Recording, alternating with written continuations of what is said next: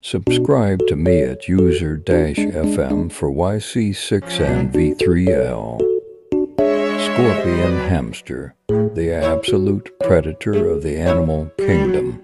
Grasshopper hamsters howling to the moon like wolves. To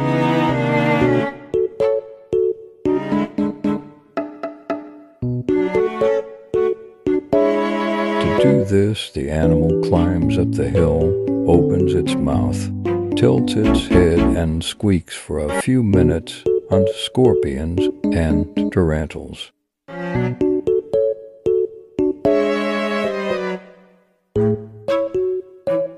Grasshopper hamsters live in the United States and Mexico, so we don't have to worry insects, lizards, scorpions, and even other mice are all on her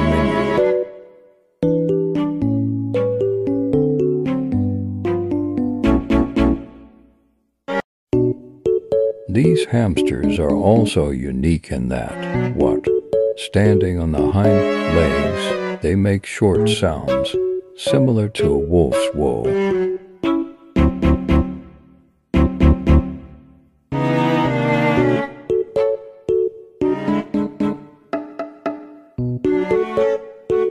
the full moon, the spectacle may seem terrifying, however, this is just their method of communicating with their relatives.